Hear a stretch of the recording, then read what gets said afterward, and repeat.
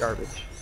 I have a warlock who has the oracle offering glitched. I've turned in over 35 oracle offerings. I and all I've gotten bro. Two seconds. That's all it takes. oh wow.